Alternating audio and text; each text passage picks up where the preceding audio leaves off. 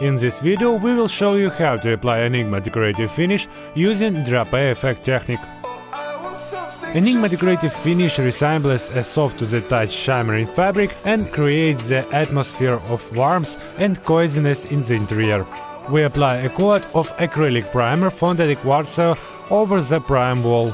After the primer layer has dried out completely, we can start applying Enigma decorative finish using toner for manual tinting.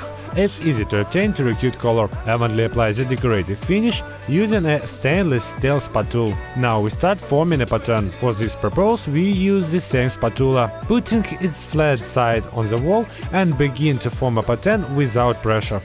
The movements of the spatula should resemble the unfinished figure eight. 20 or 30 minutes later, depending on the temperature in the room, the decorative finish becomes almost dry to the touch. Now it's necessary to smooth Enigma decorative finish in differently directed movement using a clean spatula. The movements should partially repeat the movement of a spatula during material application. After the decorative finish has dried out, we can see light texture and velvet play of color on the wall.